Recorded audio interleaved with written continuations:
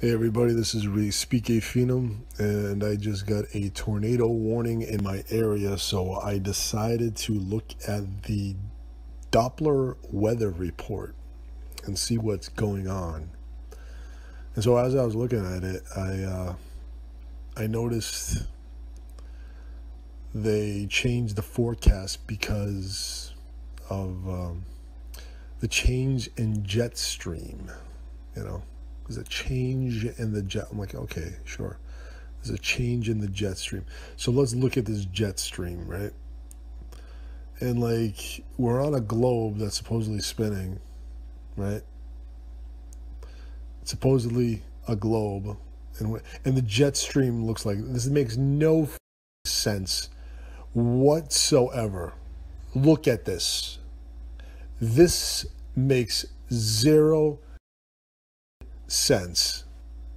However, this makes sense. Do you see this flat earth system jet stream over here?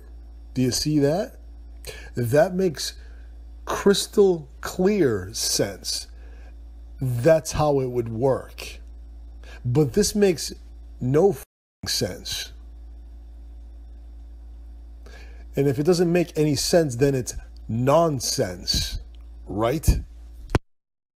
Uh, it's obvious that the flat earth reality is not the globe model reality, but time and time again, we flat earthers have put out common sense facts like this to show you you believe in bull.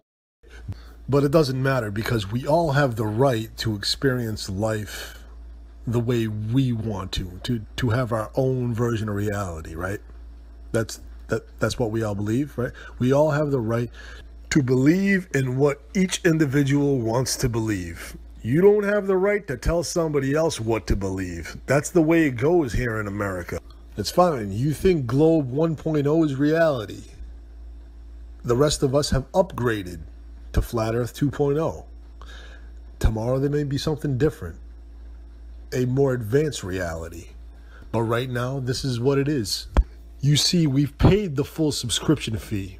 We've done the investigations. We've done the experiments. We've seen for ourselves, you know, and there's more to come. But you've been universally lied to, and by whom? I don't know. Somebody perpetrated this on us. Who the f- is it? This is Respike Phenom. Till next time.